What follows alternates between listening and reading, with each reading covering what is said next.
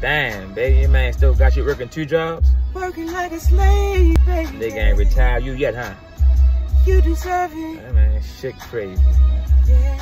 I tell you what, come work for me. Work for Clee. I say come work for me. Oh, work for Clee, baby.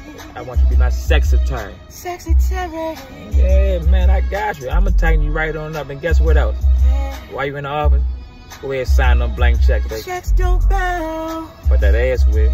Left, right, right, left.